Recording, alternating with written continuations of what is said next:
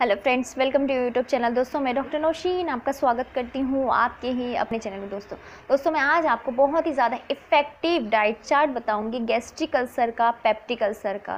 Because ulcer एक ऐसी चीज़ है, जब आपके पेट में हो जाए या फिर आपके आंतों में हो जाए तो बहुत प्रॉब्लम हो जाती है, क्योंकि आपको दर्द होने लगता है, जलन होने लगती है और ये अल्सर पेट में हो गया है तो पेट इज़ द मेन ऑर्गन जो आपको डाइजेशन में मदद करता है।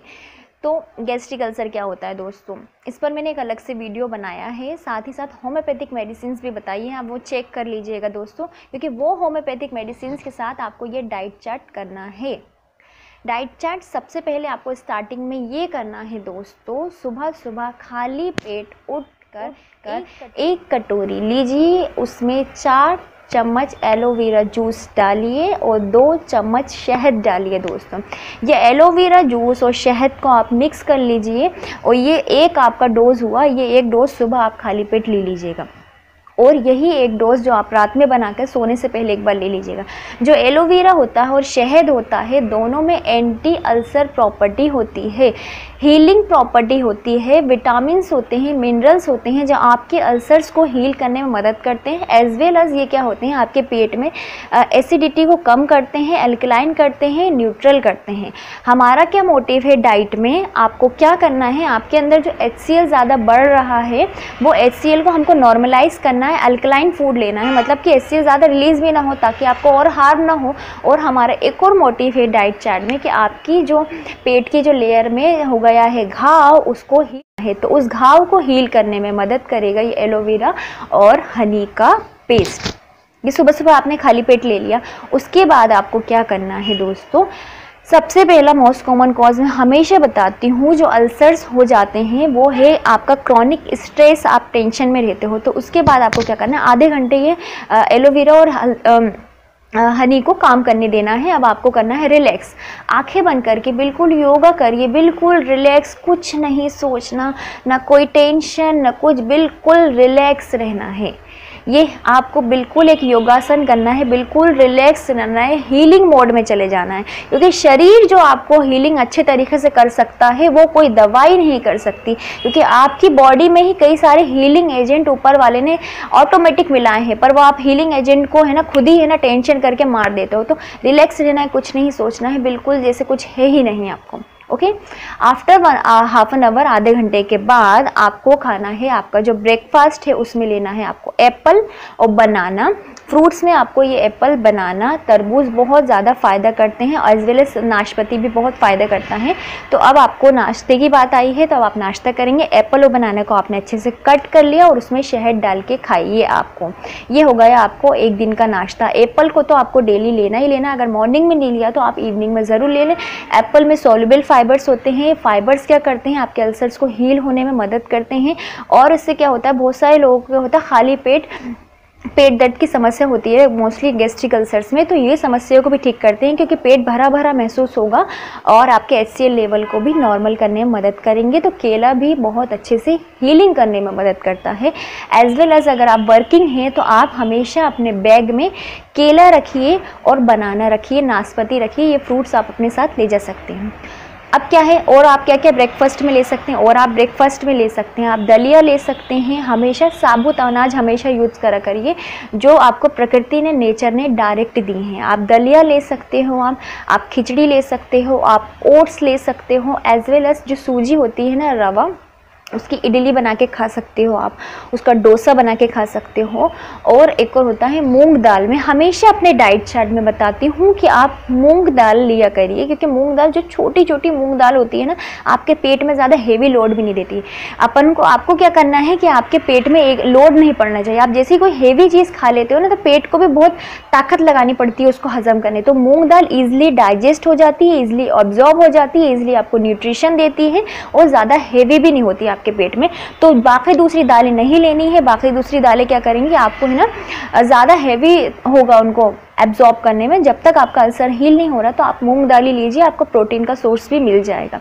तो आप मूंग दाल का चीला ले सकते हैं। तो ये सब आप नाश्ते में ले सकते हो। तो आपका नाश्ता भी हेल्दी रहेगा। हर एक एक दिन बता देना कि किसी दिन आपको दलिया लेना है, किसी दिन खिचड़ी लेनी है और किसी दिन शकरकंद भी खा सकते हैं। शकरकंद में भी बहुत सारे फाइबर्स होते हैं जो आपके आंतों को और पेट को हील करने में मदद करते हैं एसिड का बैलेंस बना के रखते हैं। तो ये सारी चीज़ें आप ले सकते हैं। अब आपको लंच की बारी आई, आप लंच में क्या कर सकते हैं? पर सबसे पहले क्या होता है कि जब सुबह सुबह हम उठते हैं तो हमको ऐसा लगता है कि हमको चाय पी लेनी चाहिए दोस्तों। बहुत सारे लोगों को चाय की बहुत डिज़ायर होती है तो चाय पर मैंने एक अलग से वीडियो बनाया कि गैस्ट्रिक अल्सर में पेप्टिक अल्सर में कौन सी चाय पीनी चाहिए तो वो आप चेक कर लीजिएगा। ऑल्सो अब आई आपके लंच की बात, यानी दोपहर के खाने की बात। लंच में, दोपहर के खाने में आप ले सकते हैं। सब्जियों में आप ले सकते हैं, पत्ता गोभी ले सकते हैं। फूल गोभी ले सकते हैं, या पत्ता गोभी और फूल गोभी क्या होते हैं? ये ऐसे जो होता है ना पत्ता गोभी there is a power house of nutrition जो पैक रहता है ना न्यूट्रिशन का पावर हाउस है। इसमें हीलिंग प्रॉपर्टीज़ होती हैं एज वेल एज जो आपका अल्सर है उसको बनने से भी रोकेगा हील भी करेगा, आपको उसमें कैंसर भी नहीं बनने देगा। आप में विटामिन सी है, इसमें विटामिन के है, बहुत सारी चीज़ें होती हैं पत्ता गोभी फूल गोभी बहुत अच्छा रहता है। आप इसकी सब्ज़ी बना के भी खा सकते हैं, आप इसको कच्चा भी खा सकते हैं, आप सलाद में भी खा सकते हैं, आप पत्ता गोभी का जूस भी पी सकते हैं। और आप क्या ले सकते हैं? आप अपनी गाजर, कैरोट ले सकते हो दोस्तों। कैरोट में विटामिन ए होता है, बीटा कैरोटीन्स होते हैं विटामिन बीटा कैरोटीन क्या करते हैं? आपकी इम्यूनिटी तो बढ़ाते ही बताते हैं। आपकी स्किन के लिए भी अच्छा आपकी आइज़ के लिए भी अच्छा अल्सर्स भी हील कर देते हैं और अल्सर को आगे बढ़ने भी नहीं देते हैं ये सारी चीज़ें। आप रेडिश ले सकते हो, जो कि मूली होती है, शलजम ले सकते हो, ये सारी जो चीज़ें होती हैं ना, बहुत अच्छी रहती हैं आपके पेट के लिए। अब खाने में आप क्या क्या बना सकते हो? आप है ना, पत्ता गोभी गोभी तो सब्ज़ी बना ही सकते हो। अल्सर्स के पेशेंट्स में आप पालक की सब्ज़ी बना सकते हो। आप मेथी की सब्ज़ी बना सकते हो। वो मेथी के पत्ते होते हैं ना, जैसे मेथी की भाजी कहते हैं। बहुत सारे लोग तो मेथी के पत्ते कहते हैं। तो ये बहुत अच्छी रहती है मेथी के पत्ते। मेथी की भाजी आपके अल्सर्स को आगे बढ़ने नहीं देते। जिस वजह से आपको अल्सर हो रहा है, उसकी जड़ को ही मार के भगा देते हैं। चाहे वो बैक्टीरिया हो, चाहे आपका स्ट्रेस हो, जो भी वजह हो, वो मार के भगा देते हैं। ये मेथी के पत्ते, मेथी के भाजी फेन्यूग्रिक लीव्स बहुत अच्छे होते हैं। Also drum stick drum stick को हम सहजन के नाम से, बहुत सारे लोग अलग अलग नाम से जानते हैं, सहजन के नाम से भी जानते हैं। अलग अलग तो ड्रम स्टिक की सब्ज़ी बनाइए। पावर हाउस ऑफ़ एंटीऑक्सीडेंट्स होता है। स्किन के साथ साथ ये आपकी कई सारी समस्याओं को ठीक करते हैं। ड्रम स्टिक्स और अल्सर्स को भी आगे बढ़ने नहीं देते और आपके पेट में भी एक हल्का एहसास दे सकते हैं। आप भिंडी भी बना सकते हो, आप लौकी भी बना सकते हो, कल तो मोस्टली मैंने आपको चीज़ें बताई दी हैं, ये सब चीज़ें अलग अलग दिन में आप बनाइए। अब किसी भी सब्ज़ी को बनाने के लिए सबसे पहले लगती है ऑयल की ज़रूरत। तो आपको ऑयल कौन सा यूज़ करना? आपको यूज़ करना है कोकोनट ऑयल क्योंकि कोकोनट में क्या होते हैं? एंटी अल्सर प्रॉपर्टीज़ होती हैं हीलिंग प्रॉपर्टीज़ होती हैं, आपके पेट में अल्सर्स को हील करते हैं। तो इसलिए आपको नारियल का तेल यूज़ करना है या फिर ऑलिव ऑयल ये दो ऑयल ही यूज़ करिए आप। उसके अलावा कोई ऑयल यूज़ मत करिए when you have a gastric ulcer और ड्यूडेनल अल्सर प्रॉब्लम और बर्तन आपको क्या यूज़ करना है? क्योंकि बर्तन में ही तो तेल डालेंगे आप। बर्तन हमेशा मिट्टी के बर्तन यूज़ करिए, क्योंकि आजकल जो बर्तन चल रहे हैं, चाहे आप नॉन स्टिक यूज़ करें, चाहे कोई सा भी यूज़ करें, उसमें एक कवरिंग लगा देते हैं। अब जब आप उसको गर्म करते हो तो ये कवरिंग आपके पिघलती है और आपके खाने में मिक्स होती है। तो मोस्टली यूज़ करिए जो नेचुरल बर्तन, जो आपको मिट्टी के बर्तन मिलते हैं, वो यूज़ करें। तो मिट्टी के बर्तन क्या होते हैं? खाने का न्यूट्रिशन मरने नहीं देते हैं। तो वो बर्तन यूज़ अब मिट्टी का बर्तन यूज़ करने के बाद साबुन से नहीं धोना चाहिए। सिंपल आप ऐसे साफ़ कर सकते हो। पानी से। साबुन वरना मिट्टी के अंदर चला जाता है। ओके ऑयल के बाद बस, बात आती है मसालों की। मसाले तो हल्दी it's a turmeric it's the महारानी ऑफ़ हीलिंग हीलिंग की जो होता है ना क्वीन जो होती है इट्स अ हल्दी। एंटीसेप्टिक प्रॉपर्टी होती है हल्दी में। आपकी हीलिंग करती है विटामिन्स होती हैं। ये अंदर जाके हीलिंग तो करेगी तो आप हमेशा अपने खाने में हल्दी डाल सकते हैं। आप अपने खाने में अदरक और लहसुन डाल सक, अब अदरक और लहसुन का जो पेस्ट होता है, यानी जिंजर गार्लिक का पेस्ट आप मार्केट से बना हुआ कभी मत लीजिए, कभी मत लीजिए, नहीं नहीं नहीं। इसलिए मत लीजिए क्योंकि मार्केट में क्या करते हैं प्रिजर्व करने के लिए उसके अंदर कुछ चीज़ें डालते हैं तो वो आपको नहीं लेने हैं, वो आपके पेट के लिए अच्छी नहीं। हमेशा ताज़ा अदरक लीजिए, ताज़ा लहसुन लीजिए, उसी को डायरेक्ट पीस कर बनाइए। अगर अदरक लहसुन को आप डायरेक्ट ताज़ा फ्रेश लेकर ही अपनी सब्ज़ी में डाल सकते हो। आप ज़ीरा डाल सकते हो बघार में, आप हींग डाल सकते हो, आप इलायची यूज़ कर सकते हो, ये फाइबर्स के गुड़ होते हैं, सारे आपके लिए बहुत अच्छे रहते हैं। अब जब सब्ज़ी बन गई है, मैंने दाल भी बता दिया आप मूंग की दाल खा सकते हो और चावल अगर आप खाना चाहते हो तो वाइट राइस आप मुझे यूज़ करा करिए ब्राउन राइस यूज़ करिए और वो भी फ्रिक्वेंटली चावल यूज़ मत करा करिए बार बार ये हल्का हल्का खाना खाइए ताकि पेट को पचाने में ज़्यादा ताकत ना लगानी पड़े, ठीक है? ना हल्के हल्के खाने ना बहुत अच्छे रहते हैं। ऑल्सो अब आपको क्या करना है, हमेशा खाने में दही लेना है। दही दही में क्या होते हैं प्रोबायोटिक होते हैं, इसमें क्या होते हैं, जो गुड बैक्टीरिया होते हैं तो बेड बैक्टीरिया को मार डालेंगे गुड बैक्टीरिया गुड बैक्टीरिया होते हैं, आपके अंदर हीलिंग भी करेंगे आपके पेट के अंदर. ऑल्सो आपको पेट में जो भी अल्सर्स हो गया है, उसको बढ़ने से भी रोकेंगे और एक ठंडक का एहसास भी देंगे. ये आप दही भी यूज़ कर सकते हैं. ऑल्सो एक और चीज़ है जो आप यूज़ कर सकते हैं इट्स अ शिमला मिर्च। मैं उसमें बताना चुकी शिमला मिर्च क्या होती है? एक विटामिन सी का बहुत अच्छा सोर्स है। विटामिन सी आपके शरीर में होता है ना तो इम्यूनिटी बढ़ती है। इम्यूनिटी बढ़ती है तो आपकी बॉडी खुद ही हील करने की ज़रूरत करती है। शिमला मिर्च की सब्ज़ी बना सकते हो, बहुत अच्छी रहेगी। शिमला मिर्च आप यूज़ कर सकते हो। ऑल्सो बहुत सारे लोग कहते हैं कि, है ना, अब देखिए सब्ज़ी बनाएँगे तो आपको नमक मिर्च तो डालनी ही डाल देगी, हल्दी वगैरह तो डाल दी है आपने, ठीक है?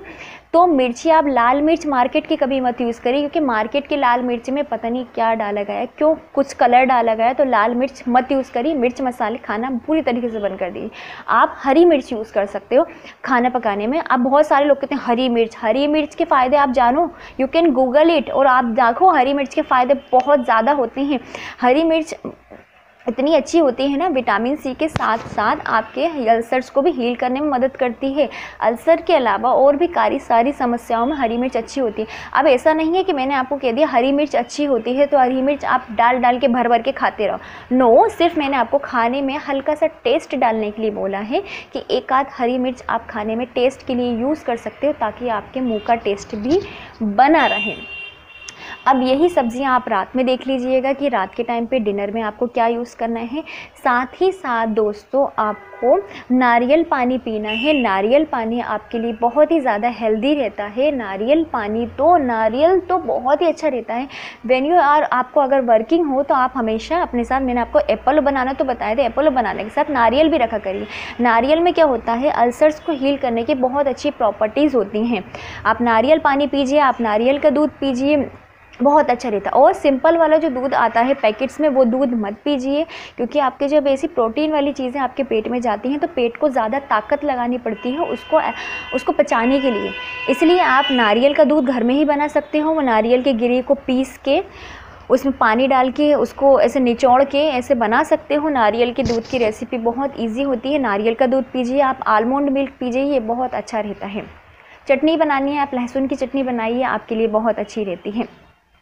ऑल्सो आपको आ, करना है कि आपका अल्सर हील रहे तो ज़्यादा से ज़्यादा आपको हाइड्रेट ऐसी चीज़ें खानी है जो हल्की हों ज़्यादा पचाने में आपके पेट को ताकत न लगानी पड़े। कभी और शाम के वक्त मैंने आपको जो बताया था सुबह एलोवेरा जूस और शहद वाला जो था वो शाम को सोने से पहले एक बार पी लीजिएगा खाना खाने के बाद ताकि रात में आपको पेट में दर्द ना हो। वो मेडिसिन लेने के बाद जो मैंने आपको अपनी वीडियो में बताया है वो लेने के बाद आप ले सकते हो। साथ ही साथ आप अदरक का रस को पानी में पानी में उबालकर अदरक का पानी भी पी सकते हो। बहुत ही अच्छा रहता है अदरक आपके हीलिंग करने के लिए दोस्तों।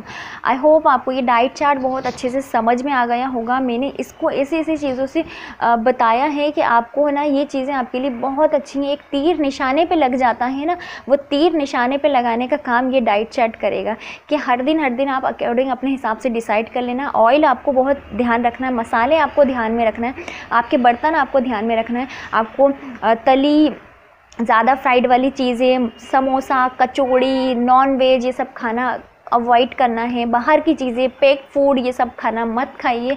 आपके लिए अच्छा नहीं रहता है। अपना ध्यान रखिए। आपको वीडियो कैसी लगी, ज़रूर बताइए। लाइक कीजिए सब्सक्राइब कीजिए शेयर करिए